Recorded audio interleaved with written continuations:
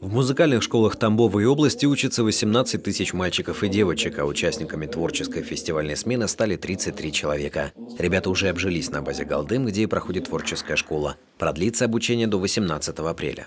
По направлениям фортепиано, струнно-смычковые инструменты, духовые инструменты, народные инструменты, баян, аккордеон. На базе Галдем у них проходят мастер-классы сейчас, различные тренинги. Э, сегодня они приедут у нас на открытие Рахманинского фестиваля, на вечернее мероприятие. Сегодня на церемонии открытия школы для одаренных детей ее ученики продемонстрировали свои таланты организаторам и дали небольшой концерт. Юные виртуозы играли на рояле, балалайке, скрипке и аккордеоне.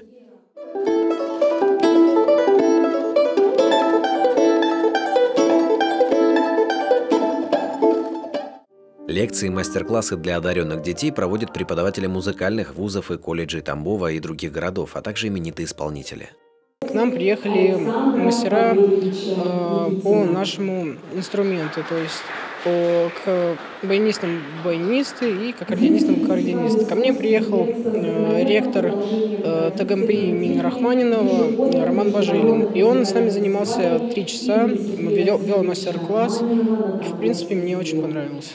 Для 33 счастливчиков подготовили программу, которая изобилует культурно-развлекательными и экскурсионными мероприятиями. На 24 апреля запланирован совместный концерт одаренных детей Тамбовщины с исполнителями Павлом Седовым и Виталием Юницким. Если, постигая науки, мы грызем гранит, то, занимаясь искусством, мы погружаемся в пар, такой сливочный крем и наслаждаемся бисквитными коржами. Вот такой торт по случаю, который сам по себе является произведением искусства, не даст ребятам забыть об участии в первом всероссийском фестивале имени Рахманинова. Павел Герасов, Николай Иванов, Ольга Кириллова. Область новостей.